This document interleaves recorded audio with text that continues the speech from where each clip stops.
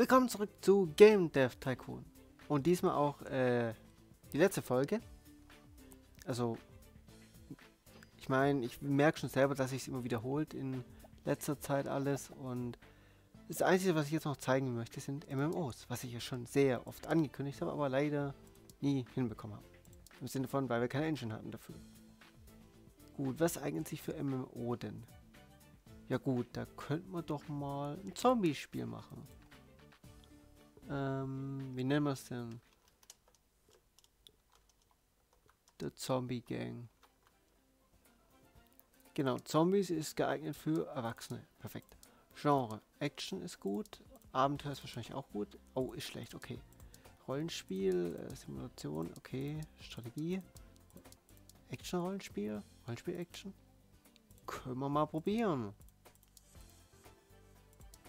Wobei, ich würde sagen, wir machen es andersrum. Ähm, zuerst Rollenspiel und dann Action. Oh, großartige Kombination. Ja, klasse. Die M-Box Next auf jeden Fall. MMO anhaken, nicht vergessen. Ähm, ja, wir haben ja kein Abenteuer, das passt. Dann können wir noch die Swap machen.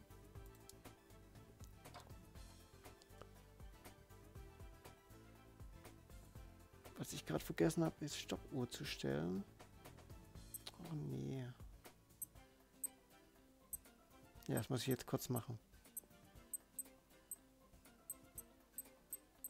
Ich werde eh eine Überfolge machen, also wenn es jetzt mehr als 20 Minuten geht, aber ich will trotzdem ungefähr wissen, wie lange ich jetzt gebraucht habe. Okay. Genau, die E16 haben wir ja bei der letzten Folge frisch gemacht, wegen MMO.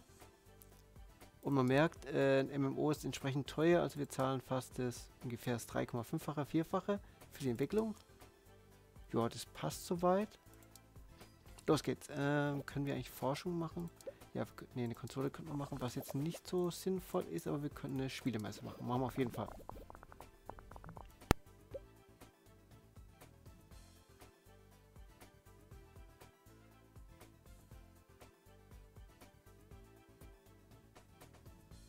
Genau, Gameplay ist wichtig. Engine müssen wir raten. Da würde ich sagen, weniger wichtig. So 20%. Dafür Story Quest schon ein bisschen wichtiger. Also ich meine, Action-Rollenspiel. Wobei, nee, ich würde sagen 50-50. Bevor ich jetzt hier was Falsches mache, dafür machen wir Full Motion raus. Genau. Videowiedergabe, die Features können wir alle reinpacken und Fähigkeitsbäume, nee, passt noch nicht, nicht ganz rein, egal. Genau, die äh, Charakter sind auch richtig verteilt. Er macht Engine, Story, Quests. Passt. Also von der Aufgabenverteilung her, ob es jetzt gut ist, was wir gemacht haben, ist natürlich eine andere Frage. Und was ich jetzt noch erwähnen wollte, klar, wenn man jetzt neue Spiele entwickelt und die auf der eigenen Konsole natürlich vertreibt, desto die Verkaufszahlen der Konsole natürlich auch ein bisschen pushen.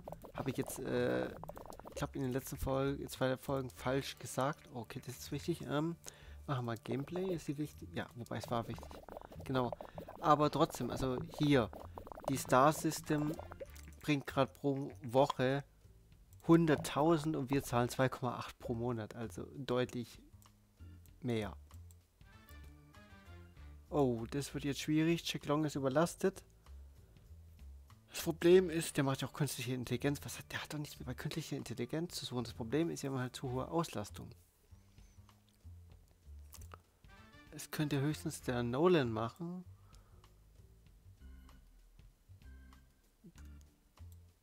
Weil der auch Dialoge macht, oder? Nolan ist...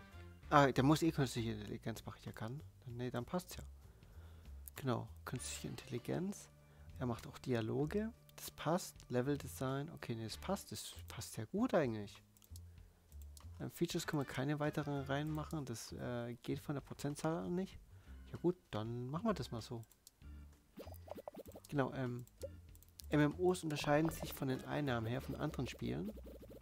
Deswegen, äh, wie schon immer bei heutigen MMOs im Real Life sieht, man muss halt immer wieder Add-ons rausbringen, DLCs, neue Gebiete, weil sonst äh, gehen halt die Kunden äh, ja, ein bisschen weg, weil sie halt äh, uninteressant wird. Also man muss halt immer neue Features machen. Und das nicht so bei einem äh, großen Spiel oder AAA, ich meine, AAA ist wie der Witcher 3, würde ich jetzt mal behaupten. Das äh, hat einen Langzeitfaktor und tut sich auch gut verkaufen. Bei MMOs ist es jedenfalls hier in Game Dev Tycoon ein bisschen anders.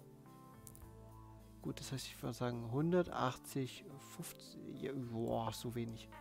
Ähm, Story Quests macht er macht Sound. Spielwelt macht der Alex, die Grafik macht die Paula, passt. Das heißt, nee, das passt. Ich glaube, wir tun uns jetzt, wir tun, wir vertun uns jetzt hier ein bisschen. Aber ich will es dann ein bisschen hinter mich bringen. Genau. Nach der Entwicklung des Spiels müssen alle mal wieder in Urlaub und ich glaube, die Spielemesse, das reicht gar nicht zeitlich. Also bevor die äh, entwickelt und anläuft, sind wir mit dem Spiel schon durch. Aber, was ich zeitlich natürlich jetzt reicht, ich kann natürlich jetzt auch noch ein Add-on hinterher entwickeln, was ich jetzt auch machen werde, weil sonst wird die Folge ein bisschen kurz. Sehr kurz sogar. Ah, genau, das heißt, wir können hier nochmal noch mal eine Spielemesse machen. Die wird am besten vielleicht fertig, wenn wir die Bugs gefixt haben, so vom Tempo her. Und dann sind wir weiter.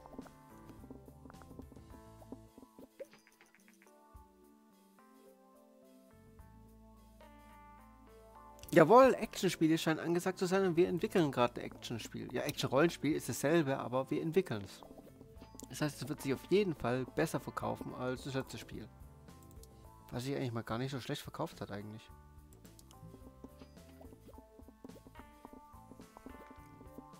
Und die Bugfix dauern natürlich ewig, weil die immer nur einen Bug nacheinander fixen können und nicht gleich drei oder vier gleichzeitig. Ist auch ein kleiner Schwachpunkt des Spiels, finde ich. Also ich meine, ja, nachher hat man halt äh, ein AAA-Spiel, das hat keine Ahnung, 1000 Bugs und bis die erstmal durch sind, die ja alle schon mal erschöpft vom Bugfixen. Was jetzt äh, nicht so schön ist. Genau, äh, Spiel veröffentlichen, in den Urlaub schicken, in den Urlaub schicken, in den Urlaub schicken, in den Urlaub schicken in den Urlaub schicken und sie noch in den Urlaub schicken. Jawohl. Zombie Game. Uh, das könnte sogar ein ganz gutes... Ja, bitte 9, bitte eine 10 oder 9. 9, 9, 9. Oh mein Gott, das wird ein gutes MMO. Okay, wird sich verkaufen. Wir können nur eine Spielemesse machen, das machen wir auch. Und eine Konsole entwickeln lohnt sich nicht. Genau. Und sie beginnt in vier Wochen. Ah. Genau, das müssen wir leider erst erforschen. Ähm, wo ist das? Ein MMO? Erweiterungen. Ah, Erweiterungspaket, genau. Wir müssen erstmal Erweiterungen entwickeln. Und wie ihr seht, ähm, die Einnahmen unterscheiden sich. Rot sind die Unterhaltskosten unseres MMOs und grün die Einnahmen. Das heißt, im Vergleich zu anderen Spielen hat ein MMO laufende Kosten. Das heißt, wir müssen immer neue Add-ons rausbringen, Erweiterungen, damit die Verkaufszahlen wieder in die Höhe schießen und die Kosten überdecken. Weil sonst können die Kosten einen sehr schnell wieder einholen, was nicht so schön ist. Ich spreche aus Erfahrung. Also ich habe ja schon mal erzählt, ich hatte, bevor ich das mir jetzt auf Steam aktiviert habe, die Handelsversion, da hatte ich mal wirklich ein Game, da hatte ich ähm, einen Spielstand, da hatte ich jetzt wirklich sehr viel Geld und sehr viele Fans. Ich glaube so, ja, 200 Millionen und sehr viel Geld, noch mehr Geld als jetzt. Und ich habe mal MMO entwickelt und die äh, Unterhaltskosten waren mal so hoch, die haben meine äh, 90% meines Geldes äh, innerhalb von zwei Monaten verschlungen. So, ja. Es kann schon passieren, dass die Unterhaltskosten eines MSO sehr hoch steigen. Also, ich bin jetzt nicht gut für... Wir haben doch alle... Oh mein Gott. Okay, ähm, Erweiterung. Genau, jetzt können wir hier ein Add-on entwickeln für Zombie Gang. Das nennen wir jetzt... Äh, The Future ist natürlich äh, gleiche Kategorie. Und ja gut, wir könnten jetzt theoretisch das auch jetzt anders entwickeln, aber ich mache es erstmal gleich.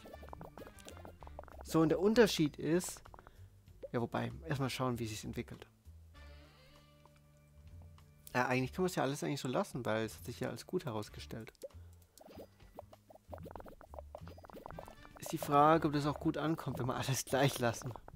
Ich meine, wir haben ja vermutlich die Erfahrung für die Phase 2, vielleicht sieht die ein bisschen anders aus wie vorher. Mal schauen, wie viel hat das Spiel jetzt eingebracht? Ja, läuft. Und im Vergleich zu anderen Games, da die Lau also das Spiel geht nicht einfach vom Markt, sondern man muss hier wirklich sagen, hallo? Warum geht das nicht? Genau, ähm, 80%, aber wir sehen, Dialoge sind vielleicht doch ein bisschen unwichtiger. Das heißt, wir können hier ein bisschen weniger optimieren oder überhaupt optimieren. Künstliche Intelligenz können wir leider nicht reinmachen, egal. Und das Wichtige ist, wenn man MMO entwickelt, immer Spielemessen am laufenden Band zu machen, weil Spielemessen tun die Verkaufszahlen immer pushen. Und das bedeutet, dass du immer wieder Geld machst. Irgendwann mal reicht es nicht mehr. Vor allem, wenn man dann immer schlechte Add-ons bringt, aber ja, also das sind meine Erfahrungen hin. her. Genau der Markt hat sich wieder stabilisiert. Das dürfte auch aus sich negativ auf die Verkaufszahlen wirken, aber man sieht, am Anfang hat das MMO hohe äh, Unterhaltskosten gehabt, dann sind die niedrig geworden und jetzt steigen sie langsam und die Einnahmen sinken. Das heißt, wir müssen jetzt ein gutes Add-on bringen, damit die Einnahmen wieder hochgehen, ansonsten haben wir ein Problem. Ähm, genau. Ja, können wir eigentlich so lassen, wie es ist. Ähm, habe ich eigentlich jetzt große Kampagne gemacht? Ich weiß gar nicht. Warum kann ich das Spiel eigentlich nicht vom Markt nehmen? Äh, ist es ein Bug? Also ich kann meine Konsole vom Markt nehmen, aber mein MMO nicht. Äh, okay. Jetzt macht mir Sorgen, weil wenn ich das nicht vom Markt nehmen kann, kann nicht sein, dass ich pleite gehe. Kann sein, weil ich gerade ein Spiel entwickle und deswegen nicht geht. Beziehungsweise weil ich gerade ein, äh, ein Add-on entwickle. Macht ja keinen Sinn, das Spiel dann vom Markt zu nehmen. Also denke ich jetzt mal. Ansonsten kann man MMO jederzeit vom Markt nehmen. Was bedeutet, äh, man bekommt keine Einnahmen, hat aber auch keine Unterhaltskosten. Also der MMO ist wirklich auch das Einzige, was dann später quasi, wenn man wirklich hier Milliarden hat, wirklich theoretisch ins Minus ziehen kann. Theoretisch. Und praktisch auch. Weil wir machen ganz wenig Einnahmen und ich glaube, jetzt überdecken unsere Kosten sogar schon unsere Einnahmen. Es sieht jedenfalls fast so da aus und ich hoffe, dass bald eine Spielemesse stattfindet. Ich meine, selbst wenn es Addon rausbringt, das sollte trotzdem ein bisschen knapp werden. Also es kostet uns jetzt schon 1,4 Millionen und es bringt 2,3. Also, ja. Okay, der Bug ist gefixt. Oh, ein Bug hat sich noch eingeschlichen. Du böser Bug, du. Genau. Okay, ähm... Ich weiß, werden wir jetzt wahrscheinlich eh nichts mehr erleben. Oder ihr jedenfalls. Ich werde vielleicht das noch ein bisschen privat hier weitermachen. Ah, okay, das Addon ist jetzt nicht so gut wie das Hauptspiel. Leider nicht. Aber es dürfte trotzdem die Verkaufszahlen äh, ein bisschen hoch pushen. Genau. Dann mal nochmal eine Spielemesse und mal schauen, wie sich das entwickelt. Ah, man sieht, die Einnahmen steigen sehr hoch, also viel, also sehr hoch wieder. Allerdings,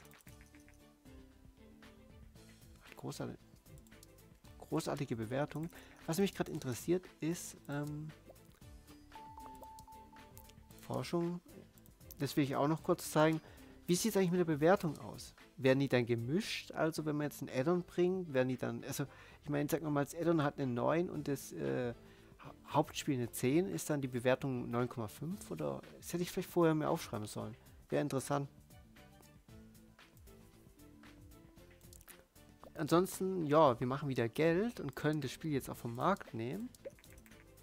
Und die Spielemesse findet auch gleich statt. Ist halt die Frage, ähm, ja gut, ich könnte nochmal, ja, ich, wir entwickeln nochmal ein MMO.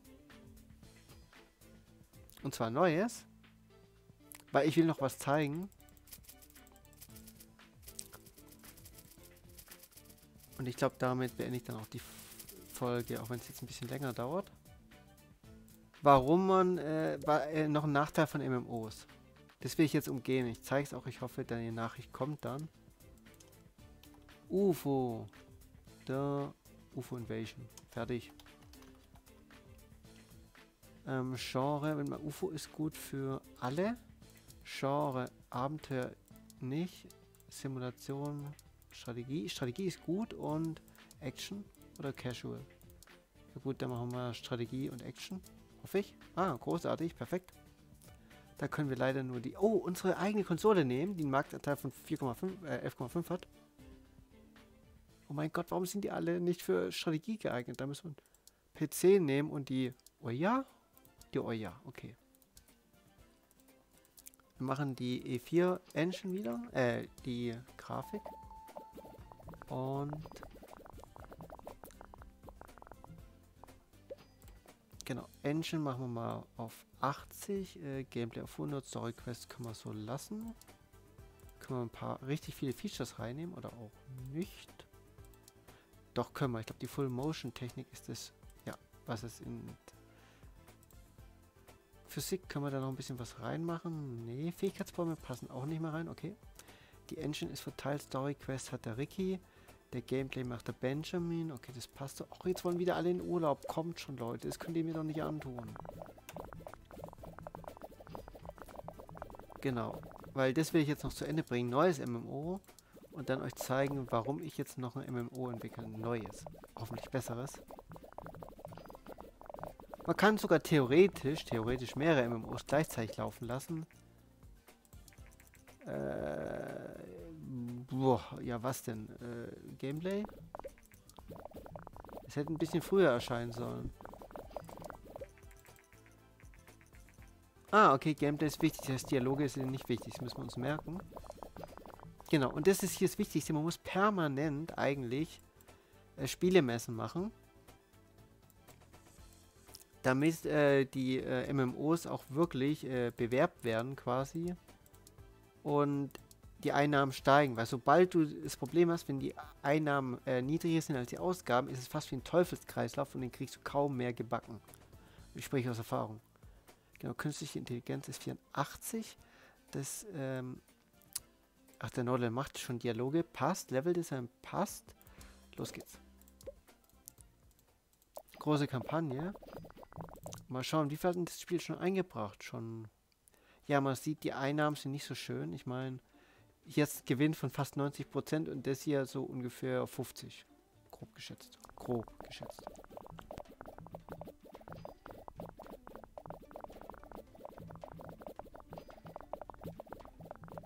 Also tatsächlich so MMOs haben halt ähm, standardmäßig höhere Einnahmen pro Spiel. Allerdings wegen den Unterhaltskosten, also wenn man da keine, sagen wir mal, MMOs entwickelt, die 9 oder 10er Bewertungen im Durchschnitt haben, kann man da wirklich nicht viel Geld verdienen. Da finde ich ja normale Spiele im Vergleich schon äh, gewinnbringender. Okay, jetzt ist ein reines Ratespiel. Ja, klasse. Äh, Grafik 80, 80, 20? Ich habe keine Ahnung. Ich muss raten. Realistisches Wetter Post nicht rein. Ja, dann, ähm, ja. Nicht rein. Nee, dann müssen wir das schon so machen. Was ich eher Bedenken habe, ist die, ähm, ähm, ja, die wollen alle in Urlaub, die sind erschöpft. Das wird problematisch wegen den Bugs. Und ich habe das ja schon mal in einem vorigen Video getestet, jetzt in der Let's Play-Reihe. Wenn man jemanden im Urlaub schickt, der auch gerade nicht aktiv in der Entwicklung dran ist, also die, wo ich gerade nicht eine irgendeine Phase zugeteilt habe, dann äh, geht es trotzdem negativ in die Bewertung. Das ist schlecht. Das ist einfach, äh, ja. Ich meine, was kann man an Bug fixen, wenn die jetzt alle in Urlaub sind nur einer natürlich Bugfix ist jetzt so dramatisch am Spiel äh, äh, negativ beeinflussen. Ich meine, die Bugs werden halt später gefixt, aber das ändert ja nicht, was die alle dann quasi schon geleistet haben. Ach nö, jetzt, ja, wie man sieht, ist unser MMO hier jetzt im Minusbereich. Die Kosten sind höher als die Einnahmen. Ich hoffe, das Spiel hier ist bald fertig.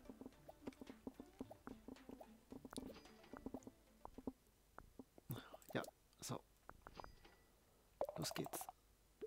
Neue Kombination, Menschen, passt, passt, passt, passt, passt. Ähm, in den Urlaub schicken, in den Urlaub schicken, in den Urlaub schicken, in den Urlaub schicken. Den Urlaub schicken. Genau. Ah, klarer Streng zur Strategie. Wir wollen ja gerade ein Strategiespiel machen. Und es hat schlechte Bewertung. Naja, mittelmäßig. Ach nö. Ja, klasse. Oh je. Was habe ich diesmal falsch gemacht? Aber wenigstens äh, verlieren wir Fans. Oh mein Gott. Wir können jetzt hier das Spiel vom Markt nehmen. Ja. Weil es keine Einnahmen mehr bringt. Und es wurde vom Markt genommen.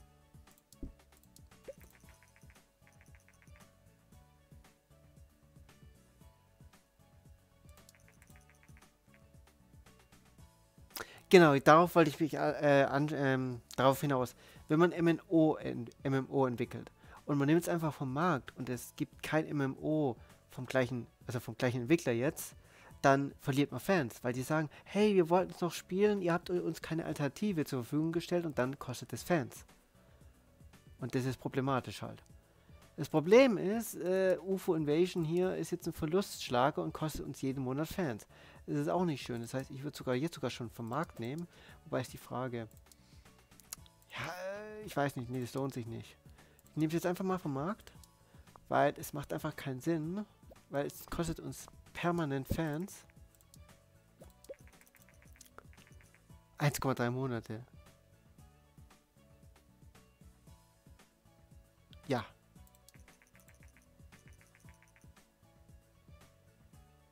Genau, und das hat uns jetzt Fans gekostet. Mal schauen, ob im nächsten Wochen das erscheint.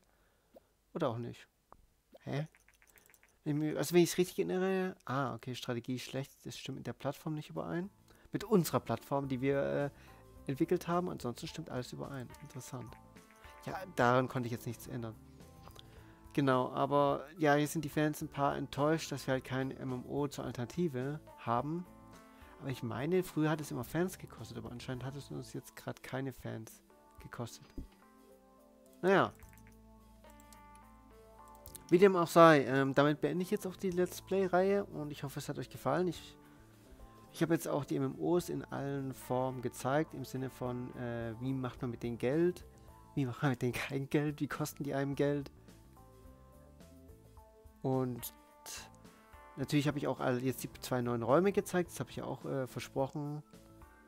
Und ist die Frage jetzt, was ich danach mache. Ich meine, kann sein, dass ich mal wieder ein, zwei Wochen Pause mache also, dass da keine neuen Videos von einem neuen Spiel kommen. Ich muss erst überlegen, welches. Ich habe schon mehrere in der Auswahl. Aber ich habe halt schon gemerkt, bei meinen, wenn ich meine Videos anschaue, man hört halt ab und zu auch ähm, das Klicken der Maus oder das Tippen der Tastatur. Und dann gibt es halt mehrere Möglichkeiten, die wir im gelesen haben. Man kann halt Noise Gate verwenden. Das gibt es sogar bei Ops-Funktionen, habe ich bisher noch nicht ausprobiert leisere Tastaturen und Maus, wobei das jetzt auch nicht so ideal ist, weil die machen ja auch Geräusche. Ähm, ja, ein Mikrofon, das damit umgehen kann, dynamisches, was so um die 100 Euro plus kostet, also ganz schön teuer. Da sind ein paar, also ich äh, habe in dem Let's Play Forum gelesen, da wurden ein paar empfohlen, die 200 aufwärts kosten, ist auch halt äh, schon eine ganz schöne Stange Geld. Ich meine, klar, also ich könnte es ja schon theoretisch leisten, das Problem ist halt, wenn es ein Fehlgriff ist, dann sind halt 200 Euro jetzt mal aus dem Fenster geschmissen.